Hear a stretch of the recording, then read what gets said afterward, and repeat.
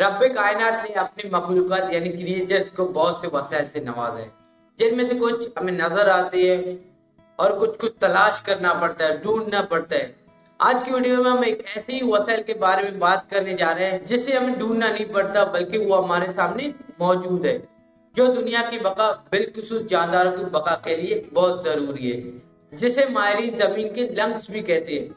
लेकिन फिर भी इंसान इसका बेतरीक इस्तेमाल कर रहा है। इसको खत्म करने में लगा हुआ है। ये यूँ कह सकते हैं कि इंसान अपने पैरों पर खुद कुलाड़ी मार रहा है। कि आज के वीडियो में हम जंगलात के बारे में बात करने जा रहे हैं। आज के वीडियो में हम जानेंगे कि जंगलात से क्या मुराद है। जंगलात हमारे लिए क्यों ज़रूरी है? अगर जंगलात ना होते तो क्या होता? और क्यों जंगलात को ज़मीन के पेपड़े भी कहा जाता है? This is your host Mir Khan and you are on my channel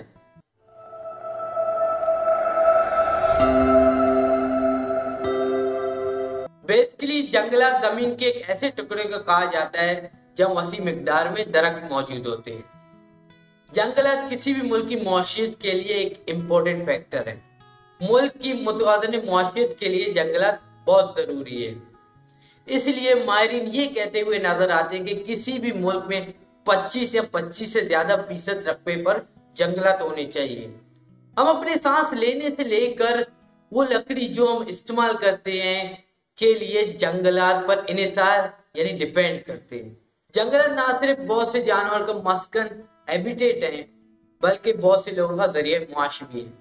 जंगलात ज़मीन की जरखेजी को बरकरार रखती है टेम्परेचर को मुतवाजन रखती है, जिसकी वजह से मौसम खुशगवार हो जाता है। जंगलात से आसत जड़ी बूटियाँ मेडिसिन बनाने के काम आती है। जंगलात इंसानों और प्लांट्स को नेचुरल डिजास्टर जैसे आंधी, तूफ़ान की तबाही और बर्बादी से महफूज रखती है, बचाती है। जंगलात पहाड़ों पर जमी हुई बर्फ़ को पिघलने से रोकती है, यानी हमें ग्लोबल वार्मिंग से बचाती है। जंगलात कुदरती चिरागाह पेड़ बकरी, ऊँट और बहुत से दूसरे जानवर यहाँ से खुराक हासिल करते हैं। जंगलात मुख्तलिफ़ किस्म के जानवरों और परिंदों की अफजाइश और नशुदम का ज़रिया है। अब बात करते हैं सबसे इम्पोर्टेंट पॉइंट की, जिसकी वजह से फॉरेस्ट को ज़मीन के लंग्स भी कहते हैं। जंगलात फिजा में मौजूद कार्बन डाइऑक्साइड की मिकदार को बढ़ने नहीं देते, क्योंकि उन्हें खुद अपनी गिजा बनाने के लिए कार्बन डाइऑक्साइड गैस की ज़रूरत होती है। इसके बदले वो फिजा में ऑक्सीजन गैस खारिज करते हैं, जो ना सिर्फ़ इंसान, बल्कि बहुत से दूसरे जानवरों की ज़िंदगी के लिए ज़रूरी है। इसको इस तरह भी समझ सकते हैं कि जिस तरह लंग्स हमारे रेस्पिरेटरी सिस्टम के मेन ऑर्गन है जो ऑक्सीजन को इनहेल और कार्बन डाइऑक्साइड गैस को एक्सेल करने में मदद करते हैं। बिल्कुल इसी तरह दरख्त भी यही काम अंजाम दे रहे हैं। फ़र्क सिर्फ़ इतना है कि इनमें गैसेस की चेंजिंग है। जैसे कि दरख्त में कार्बन डाइऑक्साइड इनहेल हो रही है और ऑक्सीजन एक्सेल हो रही है। अगर जंगलात ना होते तो इंसान को गैस मास्क बनाने की ज़रूरत पड़ती। एक ऐसा मास्क जो ऑक्सीजन को फ़िल्टर कर सके। जैसे कि मैंने अभी बताया कि जंगलात कार्बन डाइऑक्साइड गैस को एब्जॉर्ब करके इसकी मिकदार को बरकरार रखते हैं। अगर जंगलात ना होते तो कार्बन सिस्टम दरम बरम हो जाता, जिसकी वजह से एटमॉस्फेयर में कार्बन की तादाद बढ़ जाती और ऑक्सीजन की तादाद घट जाती। तो इंसान किस तरह ज़िंदा रहता? फ़ूड एंड एग्रीकल्चर ऑर्गेनाइजेशन के मुताबिक 2.5 बिलियन इंसान अपने ज़रिए मुआश के लिए एग्रीकल्चर पर इन्वेस्टर करते अगर दरख्त ना होते तो इस यूज़ अमाउंट का क्या होता? अगर जंगलात ना होते तो ज़मीन में मौजूद खतरनाक केमिकल और पोल्यूटेंस फ़िल्टर नहीं हो पाते, जो दरख्त फ़िल्टर करते।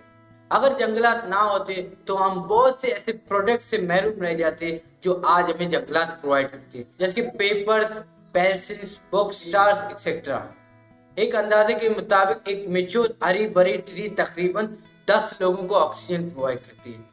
आप सोच सकते हैं कि इस दुनिया में कितने ही दरख्त हैं और हर एक मेच्योर दरख्त दस लोगों की ज़िंदगी बचा रही है।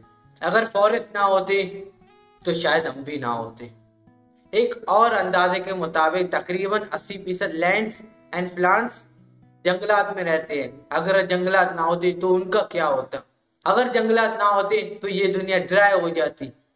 ईटअप कर जाती, जिसकी वजह से हमें व्हाइट फायर का सामना करना पड़ता। हम पेपर को यूज़ और वेस्ट कर देते हैं। ये सोचे बगैर कि इस मकसद के लिए हर साल तकरीबन चार बिलियन ट्रीज काटे जा रहे हैं। हम जंगलात की अहमियत को जानते हुए भी जंगलात के कटाव यानी डिफोरेस्टेशन के अमल में इजाफा कर रहे हैं। जिसके असर हमें ग्लोबल वार्मिंग दूसरे मुजरसेद गैसों के इजाफे और मुख्तलिफ़ बीमारियों की शक्ल में नज़र आ रहे हैं।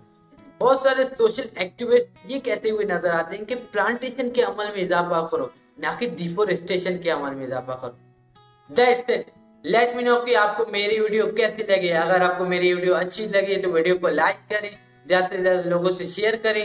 अगर आप मेरे पर्सनल लाइफ को फॉलो करना चाहते हैं तो आप मुझे इंस्टाग्राम पर फॉलो कर सकते हैं। यूट्यूब पे मुझे ज़रूर सब्सक्राइब करें W W dot YouTube dot com slash my page videos I will meet you next video